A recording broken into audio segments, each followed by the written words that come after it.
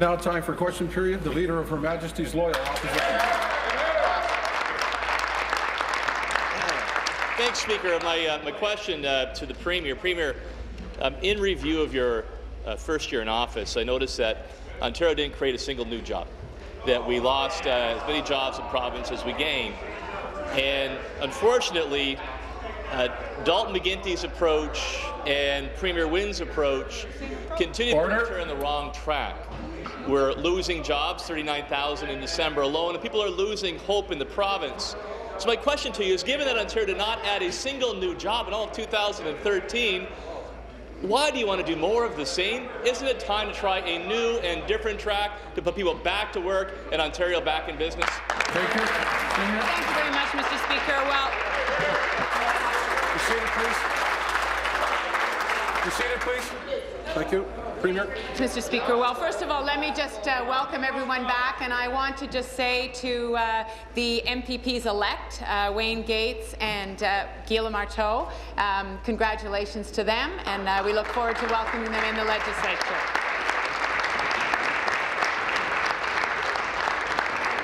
And let me just say to uh, the Leader of the Opposition, Mr. Speaker, through you, that in fact he's got his He's got his information wrong. There have been 93,000 net new jobs created in this province, Mr. Speaker, eh, just in the last year. Last month, there were 23,000 new jobs, 6,000 net new jobs. So, in fact, Mr. Speaker, the plan that we have in place is working, Mr. Speaker, and that plan is based on investing in infrastructure. It's based on making sure that people have the skills that they need Answer. and investing in people so that they can get the training and the skills that they need. And it's based on working working in partnership with business, Mr. Speaker. Thank I you. hope the Leader of the Opposition can work with us on that. Thank you. Supplementary. You, you know, there's the um, old expression, Premier, the facts are stubborn things. Uh, throughout all of 2013, Ontario did not add a single uh, net new job in the province. We lost as many jobs uh, as we gained, and that, that's a record of failure. And I know you try to brush it off on the McGuinty administration like you had once met Dalton McGuinty at a fundraiser or something, even though you're one of the key ministers. Um, you've continued on the same path, and that means that we have almost a million people uh, in our province who are out of work. I think we do a lot better than that. The second thing that concerns me is not only under your uh, premiership have we not added new jobs in 2013, um, we now are the only province in Canada that saw welfare rates uh, increase. The number of people stuck on dependency, Ontario was unique, sadly, in this fact that our proportion has actually increased. To me, this seems to be a, a record of failure. I think we can restore hope to Ontario and put people back to work, but we can't do it the same way. So why are you stuck on the McGuinty agenda? Isn't it time Thank to you. try something new? Seated, please. Be please. Thank you, Premier. Thank you very much, Mr. Speaker. So I understand that uh, the, we're at the beginning of a new session and that the leader of the, uh, the opposition is going to go on the attack. I get that, Mr. Speaker. But I think it's really important that the leader of the opposition be accurate when Order. he goes on that attack, Mr. Speaker. There have been 95,000 net new jobs created in this province just in the last year, Mr. Speaker. So he's just plain wrong when he, uh, he puts out that there are no new jobs. It's just not true. So I look forward to debating with him the issues, Mr. Speaker, but I want to debate with him on a factual basis. So 95,000 net new jobs, and if the Leader of the Opposition is asking whether we will join him on a spiral downward, Mr. Speaker, to lose good-paying jobs in this province and undermine Labour, Mr. Speaker, and his so-called right to work, we're not going there, Mr. Speaker. Be seated, please. Be seated, please. Final.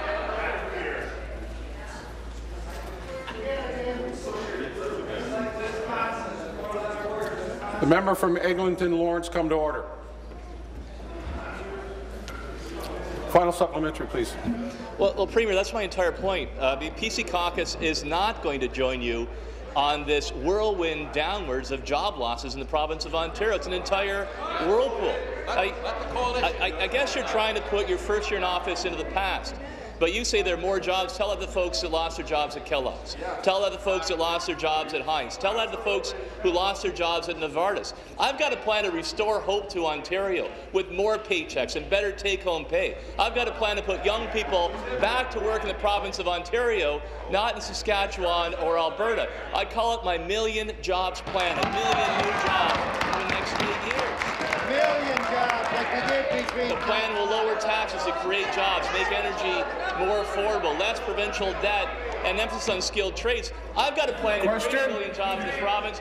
You've got a plan for a whirlpool of job losses. We reject your plan. We see a better future for Ontarians. Won't you join us and support our million job plan today? Be seated, please. Be seated, please.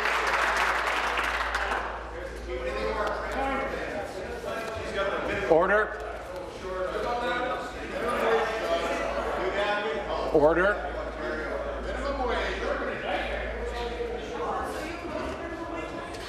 Three times the number of minimum wage. That's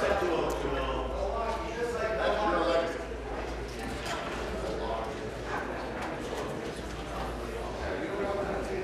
Premier.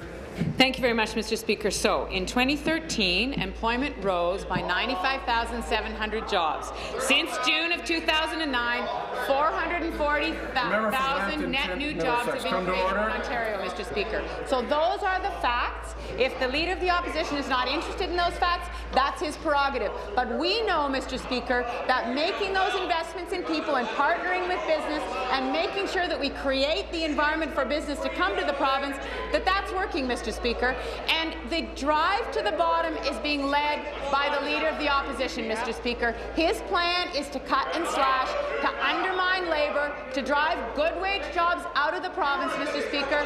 The so-called right to work thrust is his, Mr. Speaker. We are not going to go there. We are not going to join him in that Answer. downward spiral. We are going to continue to work with business, create partnerships, and create jobs, Mr. Speaker.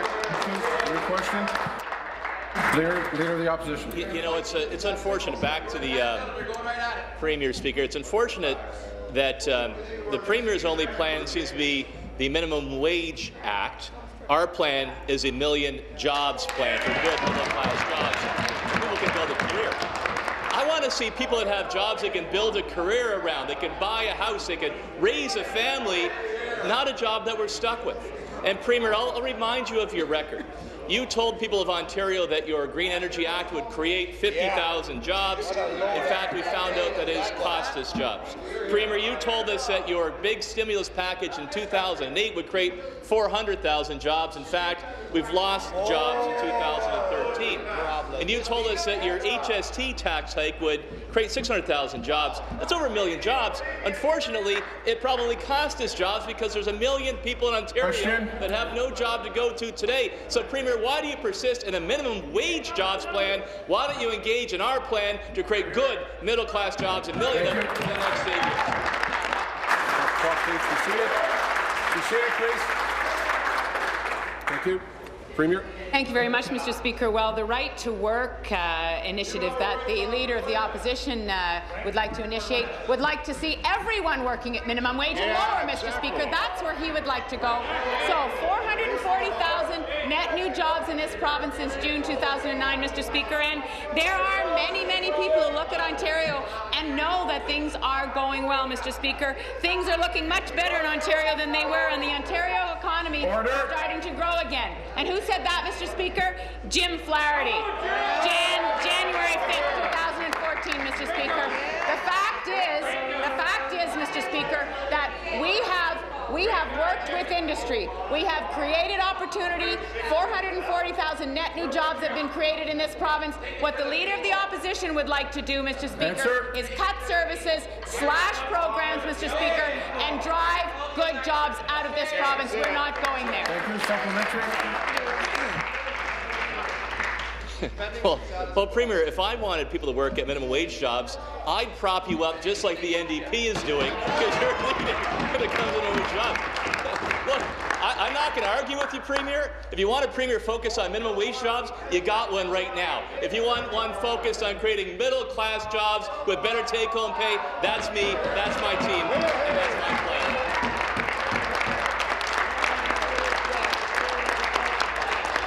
Premier, you, you just can't argue with the facts. You failed to create any new jobs in 2013.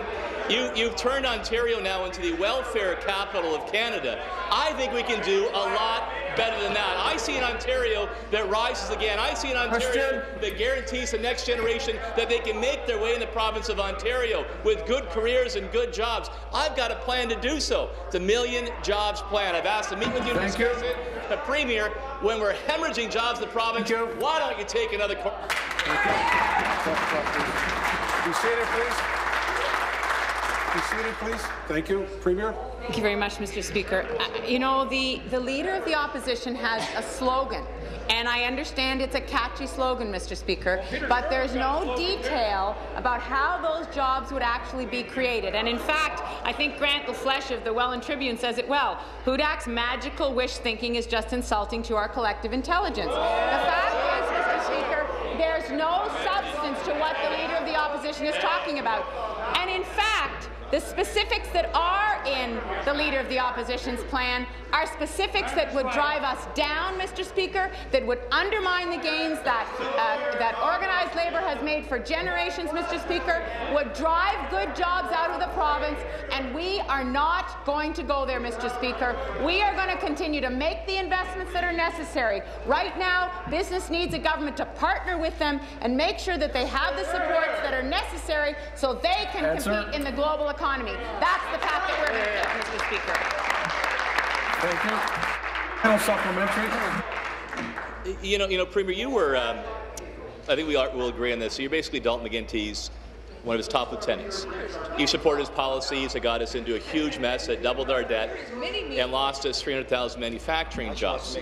Now, for the year you've been in office, you've actually made matters worse. We've seen manufacturing jobs losses accelerate in our great province. I, I don't understand why, if you are trying to stick to a plan that's costing us jobs, why do you keep putting your head against the wall? Why don't we turn around and try a brand new plan for the province? You want details? Here are the details. Stop the unaffordable subsidies to wind and solar to make hydro affordable. Lower taxes in our province. Say we can do more in the skilled trades. To actually look at more trade opportunities by joining the New West Partnership. Premier, my bill is full of bill is full of plans and details. It'll be debated at 3 o'clock. Why don't you join me? Pass it, accelerate it, and let's get people back to work and restore hope in our great province. That's what it's all about.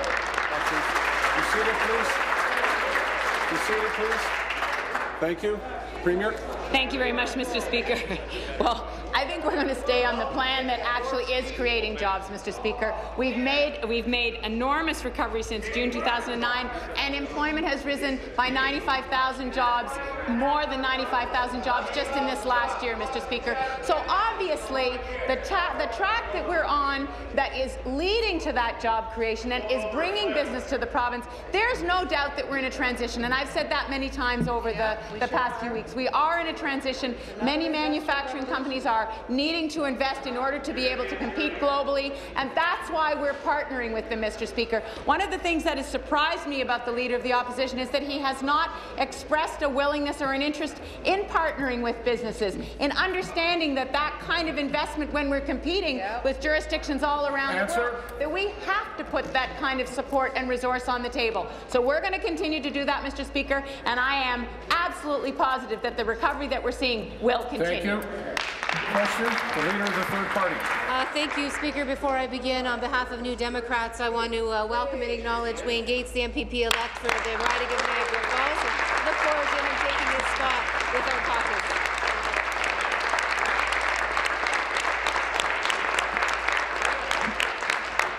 Speaker, my question is for the Premier. Does the Premier agree that middle-class families that make Ontario work are feeling financially stretched in tough times? Thank you, Premier. Thank you very much, Mr. Speaker. I, uh, I absolutely do agree that uh, we have to be very cognizant of the burdens that uh, middle-class people are feeling, Mr. Speaker. And the fact is that they are concerned about many things. One of the things that they're concerned about is retirement security, Mr. Speaker. One of the things that they're concerned about is that in their communities, people who are living on minimum wage haven't had certainty about where that minimum wage is going to go. Another thing that they're concerned about, Mr. Speaker, is that their children will have, children will have jobs. So, Mr. Speaker, we are absolutely concerned about the middle class, and the plan that we put in place and the six pillars of that plan, Mr. Speaker, are targeted directly at making sure that middle class people retain their jobs and that more people can find a middle class job, Mr. Speaker. Be seated, please. Be seated, please. Thank you. Supplementary. Speaker, for months the Premier has made it clear that she plans to move ahead with new unfair taxes, tolls and fees that will hit household budgets. Can the Premier tell families today how much more she'll be asking them to pay? Thank you, Premier. Thank you very much, Mr. Speaker.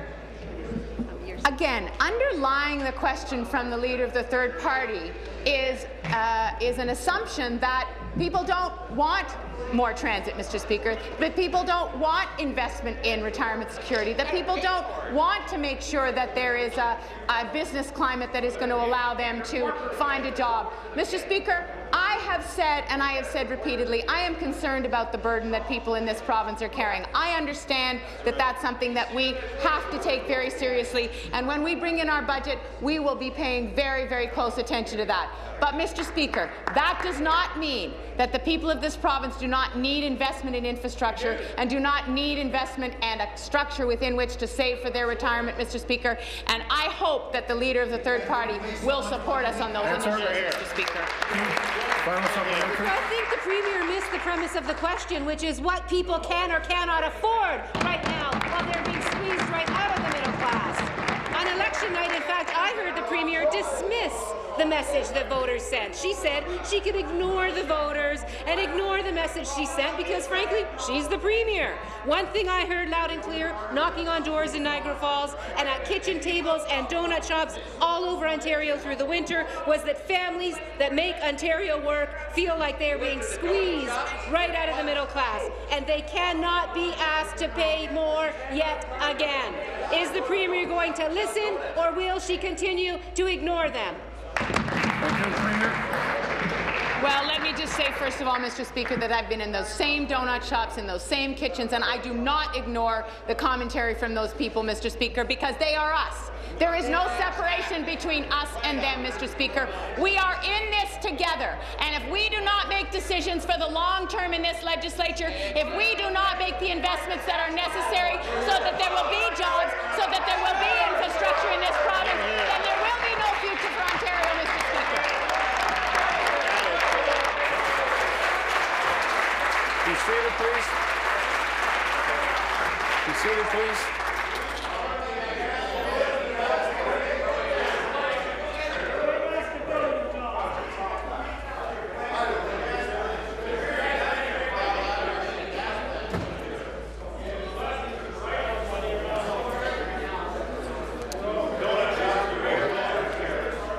The member from Prince Edward Hastings come to order.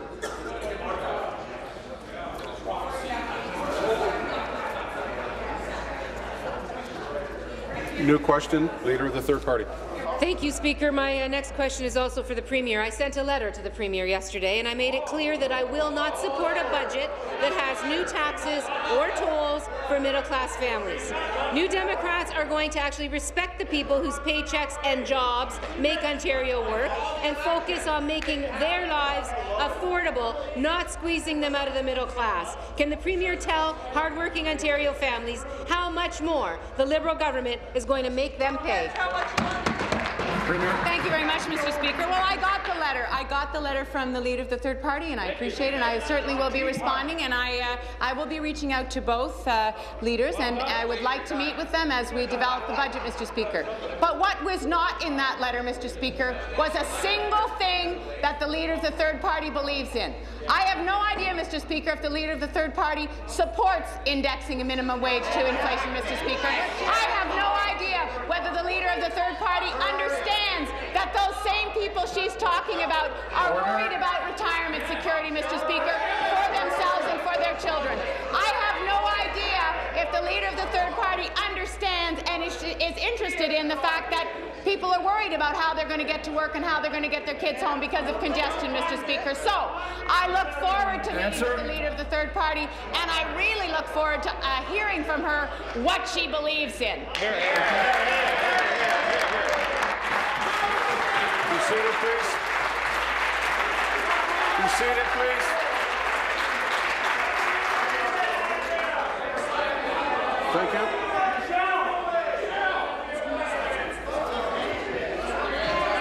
Minister of the Environment. That was a delayed reaction. Supplementary. Speaker, the Premier likes to talk about fairness, but families have been hit with the HST, climbing hydro bills, and the highest auto insurance rates in Canada. While the money they send to Queen's Park is allocated to gas plant cancellations, rising CEO salaries, bloated severance packages. I think it's time, Speaker, to show the middle-class families who make Ontario work a little bit of respect.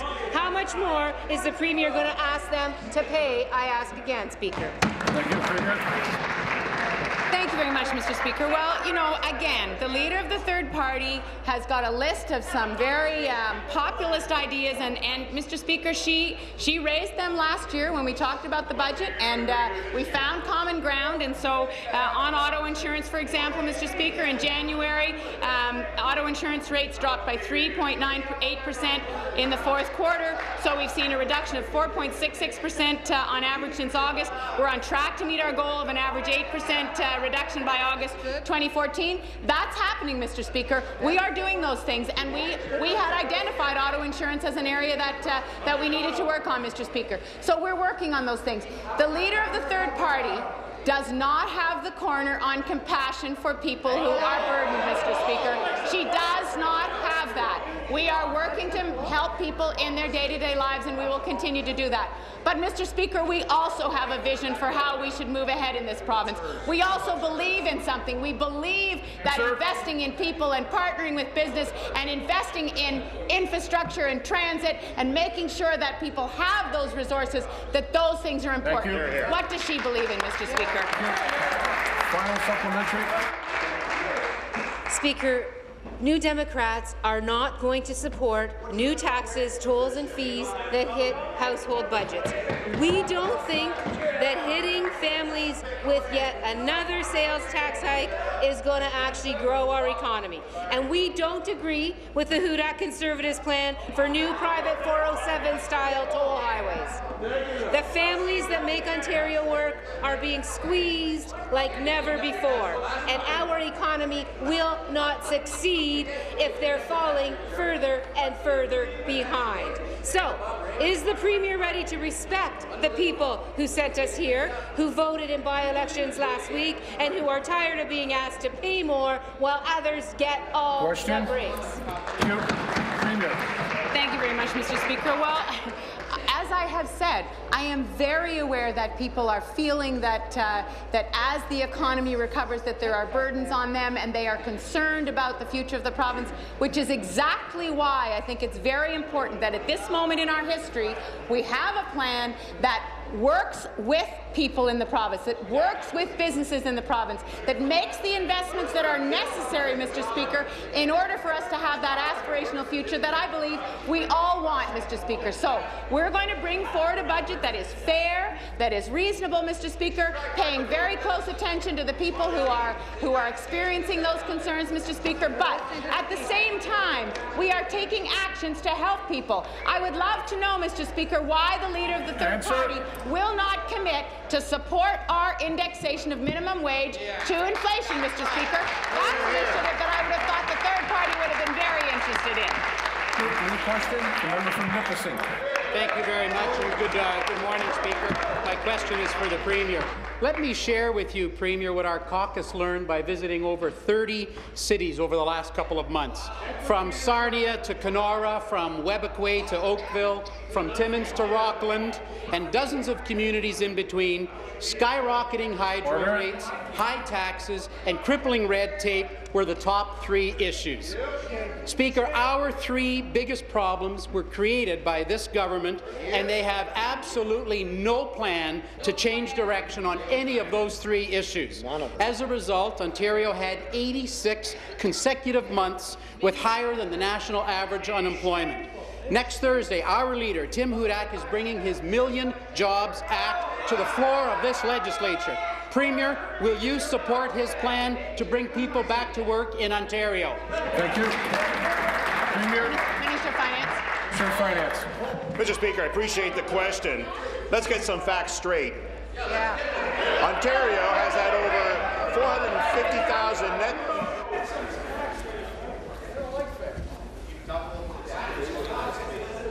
Order, please. I, uh, I, th- I thought maybe one might be able to control themselves. Minister. Ontario has uh, been increasing jobs over the last number of years to the tune of 440,000 net new jobs, including the 300,000 that were lost during a recession that affected the global market, Mr. Speaker. We've taken initiatives. The members opposite are trying to recycle old plans that is going to bring us down in a downward spiral. They're looking at the initiatives that we've taken and they're trying to replicate some of what we've done, but they do it in a poor way. And you've been to the table way too late now because we're on a track to do even more. We have in our plan another 100,000 more net new jobs coming forward because of the initiatives that we put in our budget. The member opposite should be supporting that, Mr. Speaker, and should be standing up for Ontario. Thank you. Supplementary. Well, thank you, Speaker. Back to the Premier. Kellogg's, Heinz, Caterpillar, they've all left Ontario. Now, they're still making cereal, they're still making ketchup, they're still making earth-moving equipment. They're just not making them in Ontario any longer. In fact, one million people woke up this morning in Ontario without a job. That's your facts, uh, Minister. You've given us the highest energy rates in North America, the highest payroll taxes in Canada. We're about to have the highest business taxes uh, amongst the large province, uh, provinces in Canada, and it's this government that shut down the Red Tape Commission. Skyrocketing hydro, high taxes, crippling red tape. That's the legacy of the Liberal Question. NDP coalition. coalition. Will you be supporting Tim Hudak's plan to put people back to work in the discussion next Thursday? Be seated, please. Be seated, please. Minister. Mr. Speaker, Minister of Economic Development, Trade and Employment. Minister.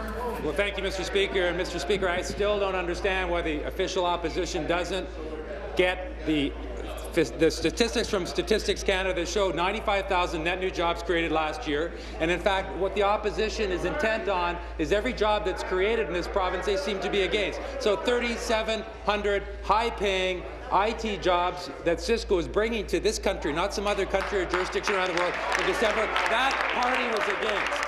And Mr. Speaker, again, we've got evidence of job creation across this province in London, an announcement just last week where General Dynamics, the largest export contract in the history of this country took place in London, Ontario, where they're going to be exporting. They have a contract for the next 14 years, which is going to guarantee the jobs for those 3,000 persons in London, Ontario. Mr. Speaker, the Eastern Ontario Development Fund, the Southwestern Ontario Development Fund together have created and retained more than 22,000 jobs, and this Answer. party opposite, Mr. Speaker, voted against that important measure. Mr. Speaker, I don't understand what their jobs plan is because to me it seems like it's jobs destruction. Thank you. Your question, the member from Kitchener-Waterloo. Thank you very much, Mr. Speaker. My question is for the Premier. For families across Ontario, it seems like the Liberal government just doesn't seem interested in the change that Ontario needs. Minister of the Environment will the come to order. The government is bringing down costs for auto insurance companies, but drivers tell us their bills are still climbing. The government promised to have the Financial Accountability Office up and running by the end of 2013 to protect taxpayers, but Christmas came and went and no one's been hired. The Premier claims she's offering change. Why does it look like more of the same? Thank you. Premier? Government House Leader. Government House Leader. Mr. Speaker, I, I, I, you know, I'm, I'm a little disappointed in the member. Uh, the Financial Accountability Officer is a, an officer of this House. There is a panel that is in place, which is, uh, my understanding, interviewing uh, individuals to take over that position. A member of her own party is on it, and to stand up here, Mr. Speaker, and try to mis be mischievous to say somehow we're dragging our feet on a process which involves the entire legislature, Mr. Speaker, is quite frankly beneath her, and I'm very, very surprised that she would uh, raise this question. Supplementary. Thank you very much, Mr. Speaker. Premier, families hear promises from this government, but Liberals seem unwilling or unable to deliver results. Despite promises to reduce auto insurance rates by 15 percent, families still have not seen relief. The government seems more interested in playing the numbers than in reducing the rates. While families are being told they have to make sacrifices, they see yet another public sector CEO collecting more money in a severance package than they will make in a decade. And the government insists with a straight face that a hard cap at twice the Premier's salary is absolutely impossible. The Financial Accountability Office, which was supposed to be up and running last year, remains vacant. Does the Premier think that that is real change? Mr. Speaker, uh, again, I mean, this is this is, uh, as I say, beneath the honourable member. She knows exactly the process that is in place. We have a representative from each party. This is an officer of the legislature, Mr. Speaker, not an officer of the government, an officer of the legislature. It's in the hands of a committee of the legislature of which her party has a representative on it. Mr. Speaker, my understanding is that they are in the process of reviewing candidates. They will be conducting interviews, and they will come forward with a recommendation which will be considered by this legislature. That was what was envisioned in the legislation which was presented to this House, which her party supported, Mr. Speaker. And again, as I say, I think it's beneath her to try to sow mischief as she is today, Mr. Speaker. We look forward to a financial accountability officer as prescribed in the legislation which was brought forward to this legislature and supported by her and her party. Question, the member from Ottawa Orleans. Thank you, Mr. Speaker. And my question is for the Minister of Labour. Mr. Speaker, our government wanted to ensure that going forward, the minimum wage will be set in a way that is both fair for workers and predictable for businesses. That's why we established the Minimum Wage Advisory Panel. This panel was comprised of representatives from business, labour, poverty advocates and youth. The panel travelled the province, speaking to and hearing from businesses, both large and small, community groups, and everyday Ontarians. They then developed a consensus report based on the feedback it received from the outreach with Ontarians, and recently the chair of the panel provided his report with recommendations to the government. Mr. Speaker, through you to the minister, could you speak about what the panel recommended on this very important issue to all Ontarians? Question. Thank you, Minister of Labour. Thank you very much, Speaker, and I, I thank the member from Ottawa Orleans for a very important question. Speaker, as you may recall, last June, uh, the government uh, created a uh, independent advisory panel to look into the issue of minimum wage. Uh, the panel was uh, led by an independent chair, and he uh, was also accompanied by members from the business community, both from retail and tourism, uh, from labour, uh, anti-poverty groups and uh, youth representatives. Speaker, uh, uh they have uh, provided to the government a consensus report with four recommendations. The recommendations being that the minimum wage be linked to the consumer price index and it be revised annually with a four months notice. Also that there be a full review of the minimum, minimum wage every five years, Speaker, and also that there be an ongoing research program that be established Premier, I'm very, uh, Speaker, I'm very proud to say that uh, the Premier announced that uh, the government will be raising minimum wage to $11 an hour as of June 1st, and also we will be bringing legislation forward that will index any future increases to the Ontario's consumer price index. Thank you. Supplementary. Thank you, Speaker, and I would like to thank the Minister for his response. I'm glad that we are giving hardworking Ontarians an increase in the minimum wage now. It's only fair. I'm happy to see legislation coming forward to remove the ad hoc nature of previ previous in increases. This legislation will provide predictable uh, predictability for business, especially our small businesses, allowing them to plan for increases so that they may remain competitive and create jobs. Now, I know there are still some constituents in my community of Ottawa Orleans would like the government to increase the minimum wage, by 40 percent to $14 an hour, and others have said that there should be no increase whatsoever. But it's, it's important that we take care to ensure that people's wages and businesses stay competitive. Mr. Speaker, through you to the minister, can you speak to what we are doing to ensure that the changes we Question. make are fair for workers and businesses alike? Minister. Thank, thank you very much, Speaker. Uh, Speaker, we are setting a fair minimum wage in Ontario. Fair for Ontarians that work on minimum wage and predictable for businesses that create jobs in our economy. We're using an objective and balanced way of determining minimum wage to $11 an hour and also tying any future increases on an annual basis to the cost of living. Therefore, Speaker, what we're suggesting is that we're taking politics out of how minimum wage is determined. Now, Speaker, it's regretful the official opposition does not support any increases to minimum wage. They did not raise minimum wage the eight years that they were in government, and of course, they don't support any minimum wage. But Speaker, what has been surprising is how the NDP, the third party, has no position on minimum wage, Speaker. And that is, Speaker, is extremely shocking and surprising because people want to know Answer. where does the NDP speak, stand on increasing minimum wage? Do they support indexing minimum wage to cost of living? Thank you. It is shocking that this party has no position Thank you. whatsoever. Thank you. Thank you. New question, the member from Nepean Carleton. Much, Speaker. My question is to the Minister of Energy. I find myself asking where to start. They blew $1 billion on cancelled gas plants. They admitted to a 42% hike in the hydro bills, announced more costly wind turbines, played postal code politics during the blackout, mismanaged the OPG according to the auditor, mishandled a propane shortage, and the Ombudsman is now investigating Hydro One. These are the facts. Enough is enough. When will this government admit that their energy strategy has failed Ontarians?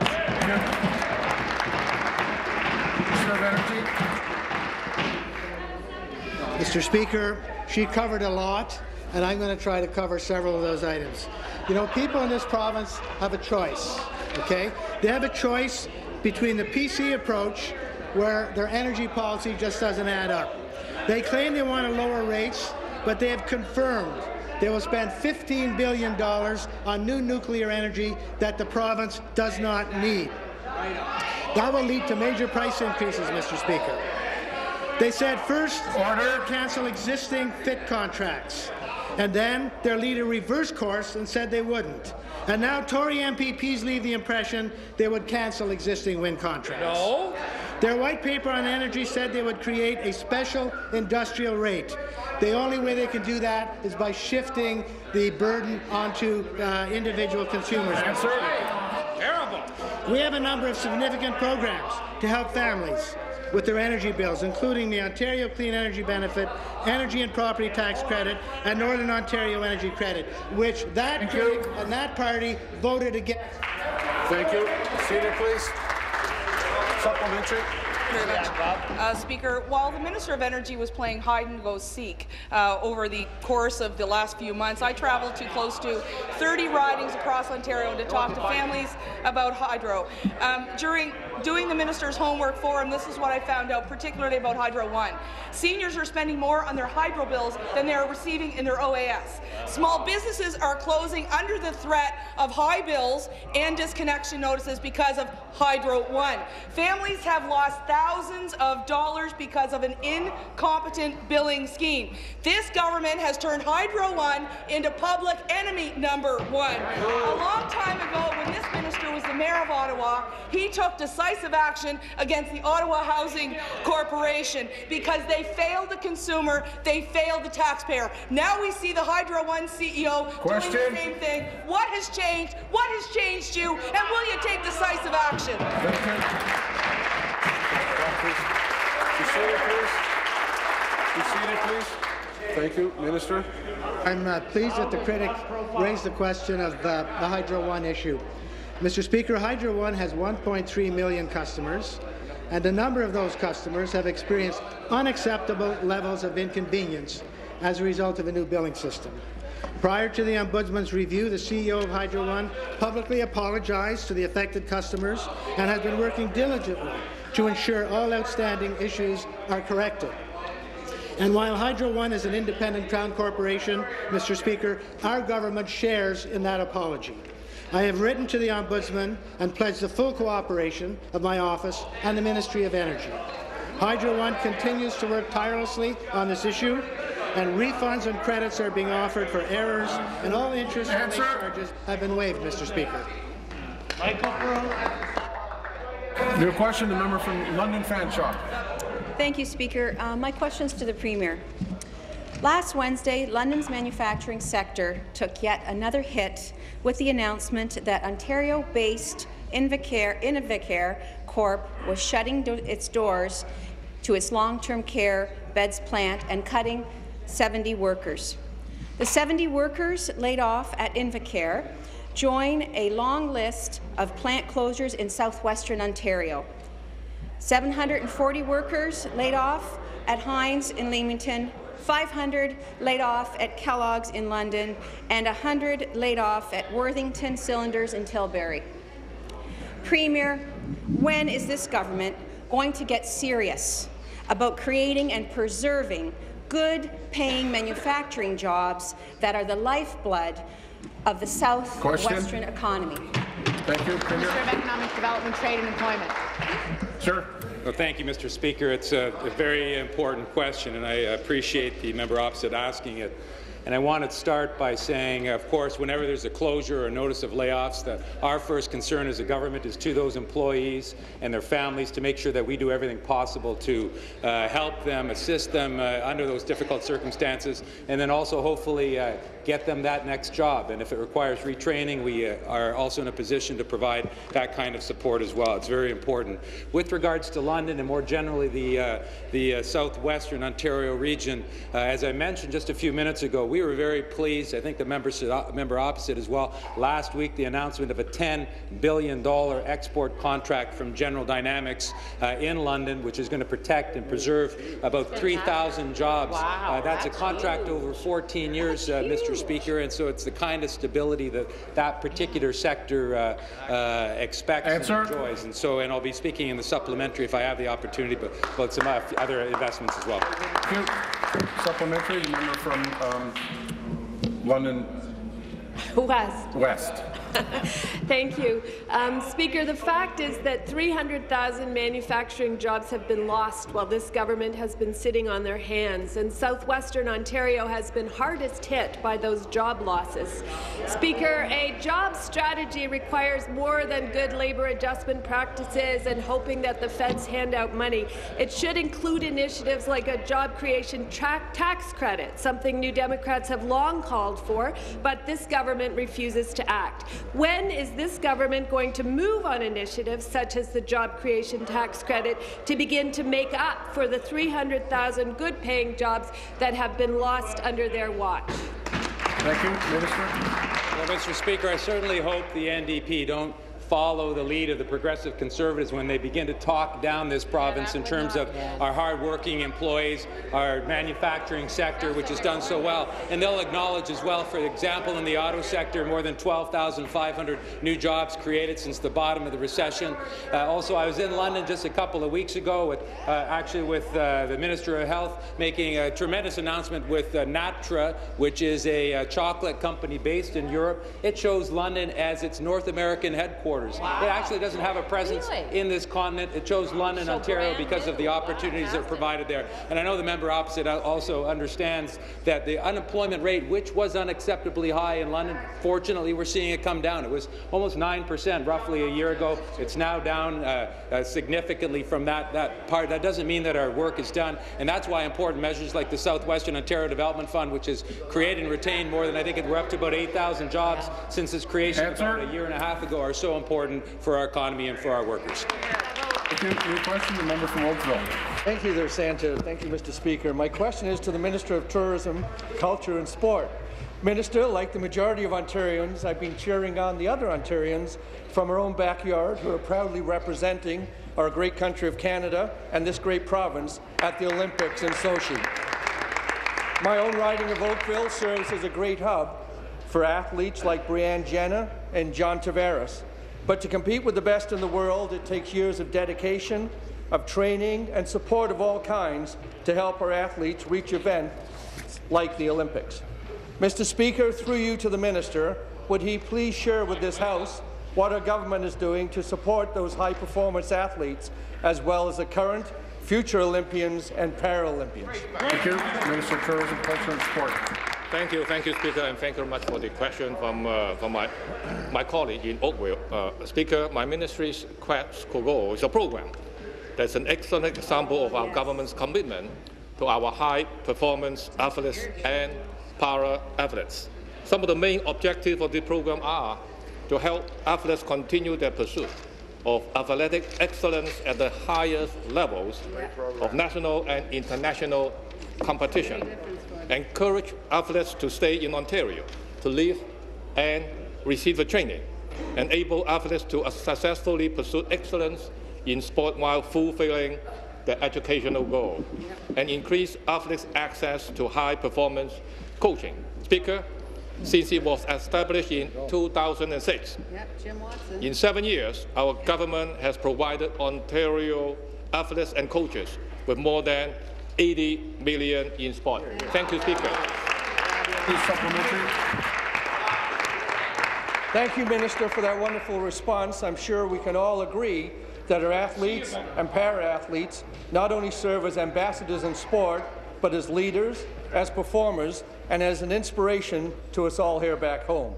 As it turns out, Team Canada this year is the largest we've ever had for a Winter Olympics. It's represented by more Ontarians than any other province in this great country.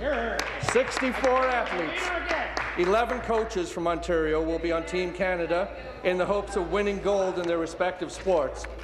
With so many of our athletes competing at Sochi, Mr. Speaker, again, through you to the Minister, could he please tell us what our government is doing to specifically support Ontario's sports sector? Thank you, Minister. Thank you, Speaker. Our government is pleased to support our athletes as they pursue athletic excellence. We are proud to support them at events like the Winter Olympics in Sochi. I would like to once again congratulate the strong contingent of Ontario athletes on Team Canada, who will make our province proud as they compete for gold. Speaker, these Ontarians and Canadians serve as an inspiration to us all, past, present, and future athletes and para-athletes with their stories and performances only reinforce the importance of developing community role models and to promote an active, healthy lifestyle. Speaker, this is why in 2013 and to 2014, Answer. our government has provided over 23 million to our sport partners to achieve these goals. Thank you. Speaker. Question, the member from Lambton Kent Middlesex. Well, thank you uh, very much, uh, Speaker. My question this morning is to the Premier. In the 12 months since your Wynne Horwath Liberal NDP coalition came to power, Ontario has lost an additional 30,000 vital manufacturing jobs. Dozens of plants across our province have announced layoffs or outright closure since your Liberal coronation. Premier, southwestern Ontario has been especially hard hit with recent plant closing announced at Invacare London, that was 70 jobs. Heinz Leamington, 740 jobs. Kellogg's London, 500 jobs. Worthington uh, Cylinders Tilbury, 100 jobs. Westcast Industries Strathroy, 40 jobs. Imperial Oil Lubricant Sarnia, 60 jobs. Ethyl Corporation Corunna, 30 jobs. Premier, why are so many factories closing under your watch? Economic Development, Trade and Employment. Thank you, Mr. Speaker. Well, and uh, I know the member opposite has his list, so I'll go through my list, and I'll start in Dunnville with Original Foods. And I was actually at the opening of that uh, new company where they moved here from Quebec, 150 jobs created just last fall. Armo Tool in London, which I know uh, just outside of London, I know the uh, member opposite knows well, was our first recipient of the Southwestern Ontario Development Fund. 14 jobs. Armstrong Milling, Milling in Hagersville, 10 jobs. The Centerline in Windsor, 31 jobs. Conestoga Meats uh, in Kit outside of Kitchener and Breslau, 100 jobs there, Mr. Speaker. Dash Canada, 10 jobs. Giroux Manufacturing, another 12. Elmira Pet Products in Elmira. 146 jobs protected and many more created, Mr. Uh, Speaker, and the list goes on and on from Tillsonburg to Cambridge, Wallaceburg, Guelph, St. Catharines. It's unfortunate that the party opposite did not support us in creating a permanent fund for southwestern Ontario to create those exact manufacturing jobs that the member opposite seems to be so concerned about. Thank you. Supplementary. Well, thank you, uh, Speaker. Uh, back to the Premier. Premier, on January 22nd, I wrote to you about the closure of Westcast in Strathroy. The reason for this closure is due to the high price of electricity, coupled with Ontario's outdated labour policies and outdated apprenticeship ratios. In fact, Westcast CEO wrote to me on January 7th and said, and I quote, if electricity rates do not become more affordable, Ontario risks losing important investments from companies like Westcast. Premier, your careless approach has helped push Ontario's manufacturing sector into crisis. 30,000 manufacturing jobs have been lost since you've become Premier of this province. Only Tim Hudak and the Ontario PCs have put forward a jobs plan to help the thousands of people who are unemployed Question. in Ontario today. Premier, I ask again, how come so many manufacturing plants are closing under your watch, and why are you and NDP leader Andrea Horwath so determined to lead the race to Thank the you. bottom? Please be seated, please. Be seated, please. Thank you. Minister. Well, Mr. Speaker, it's pretty rich coming from this party opposite that hasn't supported, really hasn't supported any of our jobs plans or efforts over the past few years. If it had, if they had had their way, Mr. Speaker, back when the province supported the auto industry in 2009, which they did not support, we wouldn't even have an auto industry. It would have left to the United States or to Mexico. Fortunately, we've created 12,500 new jobs in, in the auto sector alone.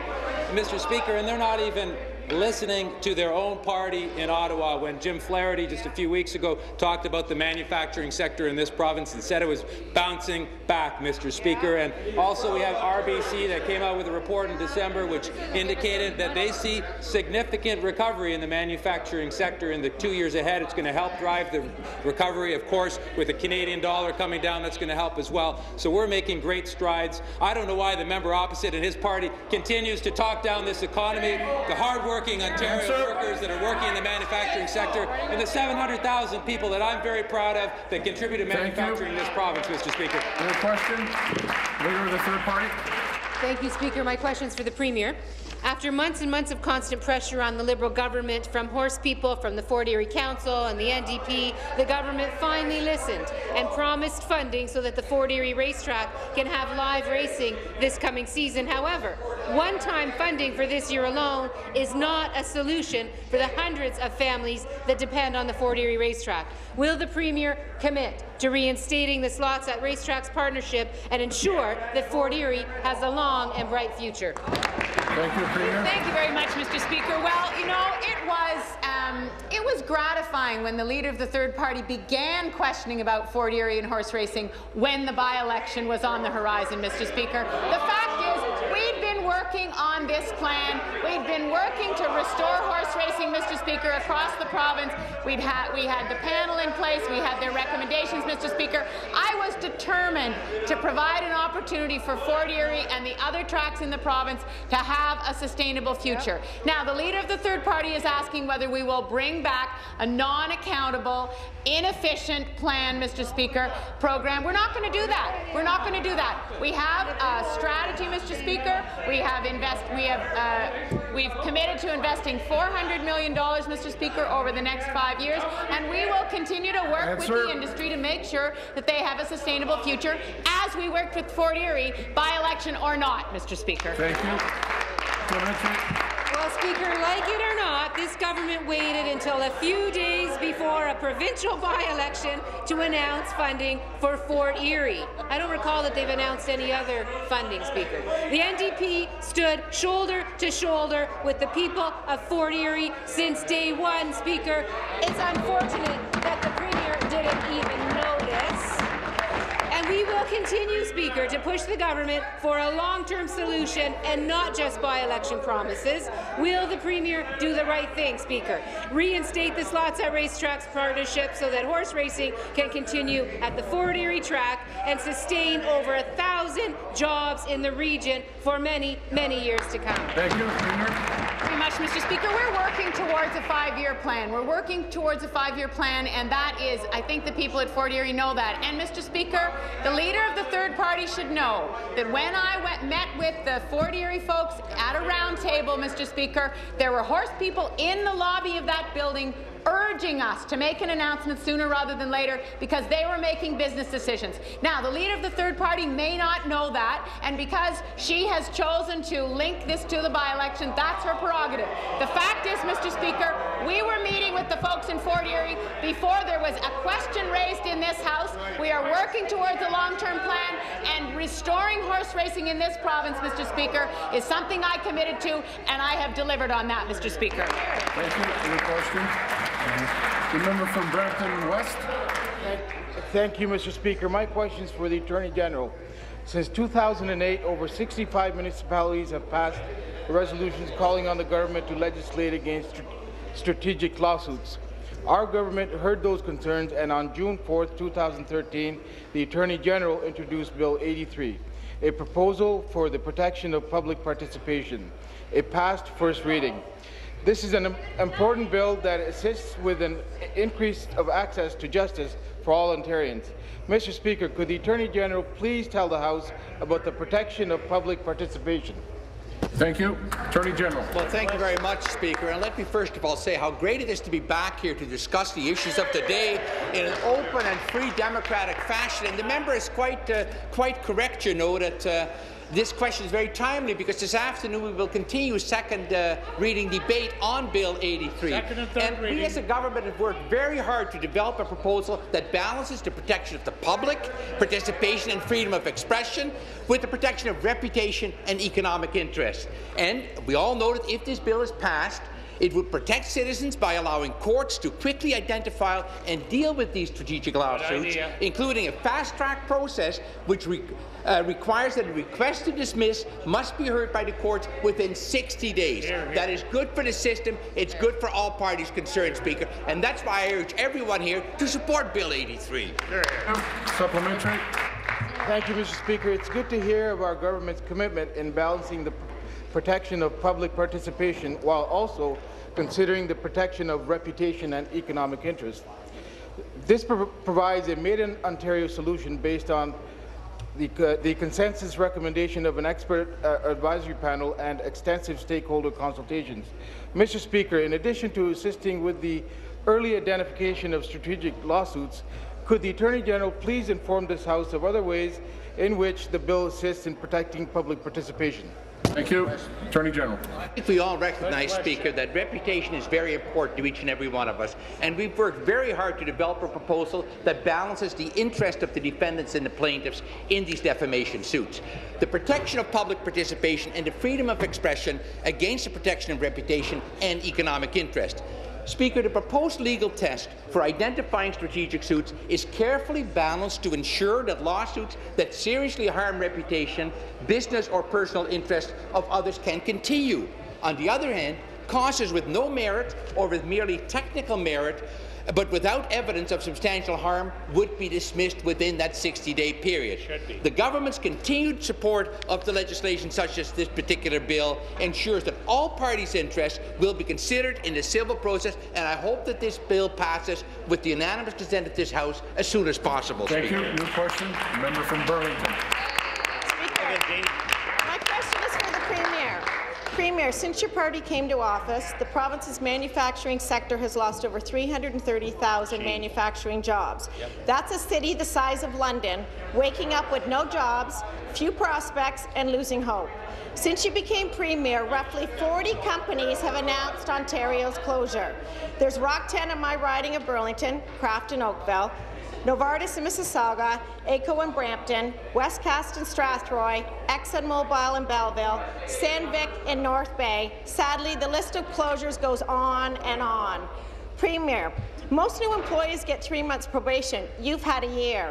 When will you make jobs a priority? Good question. Minister of Economic Development, Trade and Employment. Thank you, Mr. Speaker, and I appreciate the uh, question from the member opposite. I have to say I still don't understand why you didn't support the Cisco investment in this province, which is creating 3,700 uh, high-tech, good invest, good jobs over the next uh, 10 years. Uh, Mr. Speaker, our manufacturing sector, we've resulted since the bottom of the recession, we've actually created 25,000 jobs in the manufacturing sector across this province, and many of them, of course, are in the part of the province that the uh, member opposite represents. But let me tell you, in terms of the what isn't in their jobs plan, curiously, but obviously is a preoccupation of the party opposite, is their right to work plan, which quite, quite frankly, Mr. Speaker, is the centerpiece of their jobs plan. But it's going to be a right to work for less. It's going to be it's a scheme that will lower wages and less benefits for all workers in Ontario. And Mr. Speaker, I'm happy to talk more about that in the supplementary. Thank you. Supplementary. So I'm curious, Minister, how are we supposed to judge your numbers? It's not 3,100, it's 1,700 for Cisco, but nevertheless, I'll give you this. Liberalnomics, liberalnomics. Consistent in driving businesses out of Ontario, and it's not hard to figure out why. Ontario has the highest rates in North America. Small and medium businesses are drowning in red tape. We've had the highest WSIB rates in the country, which cripples businesses' ability to hire higher bottom line costs, more bureaucratic headaches. Not exactly a winning economic strategy. You need to step up your game or step aside. Hear, hear. When are you hear. going to show the people of Ontario a real job plan? Hear, hear. Good job, Katie. Hear, Be seated, please. Be seated, please. Thank you. Minister. Well, Mr. Speaker, first of all, it is 3,700 new jobs by Cisco, and the member opposite needs to get her facts straight. Mr. Speaker, also, in terms of the right to work for less plan, it's not something that we're obviously preoccupied because the, the party opposite is advocating. Many of their own members are very concerned about its potential impact. They know that it's a job killer, it's going to drive down wages, and it's going to hurt job creation. So I know they're trying to distract the public by focusing on this alleged million jobs plan, but the centerpiece of that is the right to work legislation, the Wisconsin-like legislation that they want to, uh, to this policy, which we know is so extreme that even the member opposite's own party is trying to seek some clarity and asking their leader to come out clean as to what kind of damage he's going to do to our economy through this right to work legislation. 11 PC candidates in Northern Ontario are concerned. They're turning to us as well to make sure that this explosive policy file of the uh, PC party that it doesn't see the light of day. The PC former PC candidate Thank Niagara. Falls is on record as saying. Thank you. Thank you. New question. Member. Parkdale High Park. Thank you, Mr. Speaker. My question is to the Minister of Community Safety and Correctional Services. Last week, Avery Edison, a trans woman, was held at Maplehurst Correctional, a provincial men's facility. Being confined in a jail for men, Ms. Edison's health and safety were put at dire risk. In Ontario, we have Toby's Law, where gender identity and gender expression are protected under the Ontario Human Rights Code. Can the minister explain why Toby's Law is not being respected? Thank you. Minister of Community Safety and Corrections. Yes, uh, Mr. Speaker, I want to thank the member for this uh, excellent question. Yes, this uh, issue was brought up to, uh, to my attention, and uh, so it's, uh, it- it's a, was of concern to me too. So I think that it's, uh, the, the problem was, uh, was resolved, and we have uh, policy in place to uh, ensure that, uh, you know, uh, the, uh, that you know, the, the process is, is followed very closely. Ministry uh, officials uh, uh, conduct a screening process for every inmate that is admitted into a provincial custody. Part of that process is identifying the individual's sexual identity, and individual may self-identify as transgendered, or uh, the facility may be um, notified by authority that the individual is transgendered. So correctional uh, officer uh, take uh, self-identification into account, and in the supplementary. Thank you. I'll allow the uh, supplementary. Thank you, Mr. Speaker. Mr. Speaker, uh, last week I wrote to the minister urging an immediate investigation into Ms. Edison's confinement in a jail for men. Clearly, whatever policies are in place are not working. Everyone involved in this detention should be trained in how to treat trans people with dignity and respect. Such an incident must not reoccur. So I'm going to ask again, will the minister be launching an investigation into this matter? Thank you. Minister. Uh, I, uh, I, would like to uh, ensure the uh, member from uh, the opposition that, the, uh, that is not going to happen again, but unfortunately I, I cannot uh, say that, but we will make sure that the uh, an investigation, first of all, is uh, being conducted uh, when these things happen, and uh, the policy will be reviewed, and to make sure that you know everybody is treated as they should be, and an incident like uh, the one that happened does not uh, happen again. But, uh, you know, the, of course, the uh, safety of individuals and those in correctional facility are Answer. taken very seriously, and we wanted to uh, treat uh, these people with respect and dignity, and I'll, I'll make sure that, you know, we reinforce the, the, pro the procedure. Thank you. Thank you. The member from Kitchener-Waterloo on a point of order. Mr. Speaker, I rise on a point of order. Under Standing Order, Section 23, subsection I, imputes false or unavowed motives to another member. The House Leader earlier today accused my question of being mischievous. In fact, the budget of 2013 passed in May. The interviews are not.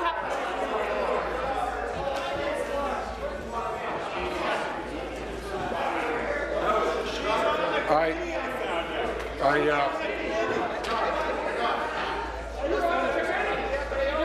I look for the day when none of us are mischievous. There are no deferred votes. This House stands recessed until 3 p.m. this afternoon.